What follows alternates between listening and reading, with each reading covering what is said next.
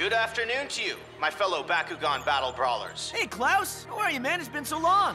I see that living on Vestal hasn't affected your sense of style. Still rocking the 16th century pirate thing? Well, Dan, thanks for the compliment, but we have more pressing issues to discuss. Guys, you've got to help us. They've come back. Hydron and his posse of Vexo scum.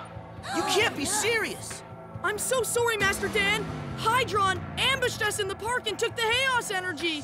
Just don't beat yourself up, Baron. They're stronger now. If Klaus and Sirenoid hadn't stepped in, Mylene would have taken my Darkus energy too. So it looks like the Vexos are calling us out.